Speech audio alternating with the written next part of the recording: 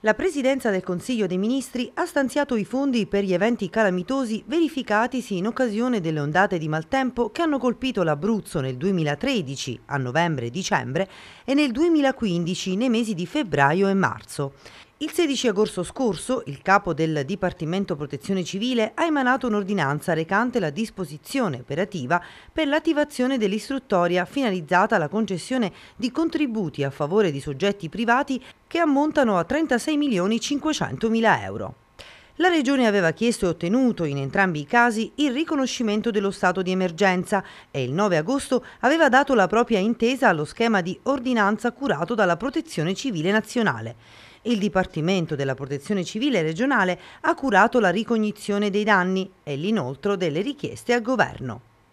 I comuni interessati per la provincia di Teramo sono in tutto 43.